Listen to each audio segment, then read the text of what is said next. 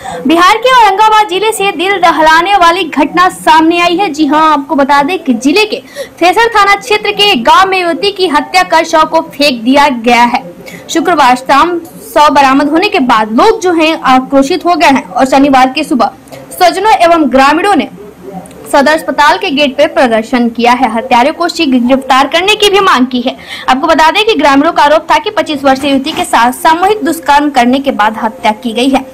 और इसे छिपाने के लिए सौ को झाड़ियों में फेंक दिया गया है। हंगामे की सूचना पर सदर अस्पताल पहुँचे एसडीपीओ गौतम सरल ओमी ने लोगों को समझा बुझाकर शांत करवाया है। उन्होंने कहा है कि वैज्ञानिक तरीकों से घटना की जाँच की जा रही है, जो कि, जो भी दोषी होंगे, उन्हें गिरफ़्तार कर सजा दिलाई जाएगी। हत्या के तरीका का पता पोस्टमार्टम रिपोर्ट से ही होगा। फ़िलहाल पुलिस दुष्कर्म की पुष्टि नहीं कर रही है। आपको बता दें कि मृतका जीविका मित्र के पद पर काम करती है। स्वजनों ने बताया कि 18 नवंबर को अपनी जेठानी एवं ननद के साथ बघोई स्टेशन से ट्रेन पर सवार होकर रफीगंज बाज़ार गई थी। बाज़ार से लौटते समय उसकी ननद रफीगंज स्टेशन पर छूट गई।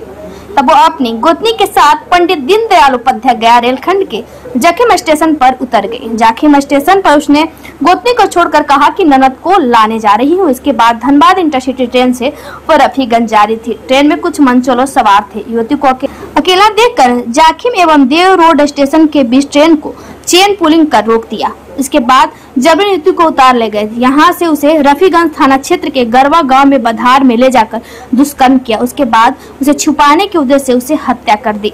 इधर घर नहीं लौटने पर स्वजनों की चिंता हुई। महिला के लापता होने से संबंधित सूचना फेशर थाना पुलिस को दी गई थी। इसी बीच शुक्रवार के शाम रफीगंज थाना क्षेत्र से उसका शव बरामद किया गया। रात होने की वजह से पोस्टमार्टम नहीं कराया जा सका। शनिवार सुबह पुलिस शव को पोस्टमार्टम कराने के लिए सदर अस्पताल पहुँची। इस क्रम में बड़ी संख्या में स्वजन एवं ग्रामीणों पहुँच गए और हंगामा करना शुरू कर दिया।